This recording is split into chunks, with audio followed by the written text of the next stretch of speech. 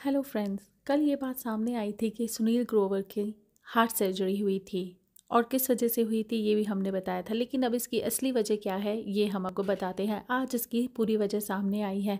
दरअसल सुनील ग्रोवर को पंद्रह दिन पहले हार्ट अटैक आया था। जी हाँ जिस समय उन्हें यह हार्ट अटैक आया, वो उस समय अपनी वेब सीरीज़ की शूटिंग कर रहे थे और तभी उन्हें चेस्ट में पेन हुआ।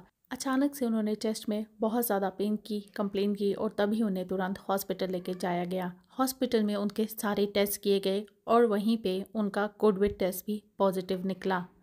सुनील ग्रोवर की ये बाईपास सर्जरी हुई थी, जो कल नहीं, दो दिन पहले नहीं, पंद्रह दिन पहले हुई थी। जी हाँ पंद्रह दिनों तक सुनील ग्रोवर हॉस्पिटल में ही थे, लेकिन ये बात किसी को पता नहीं चली।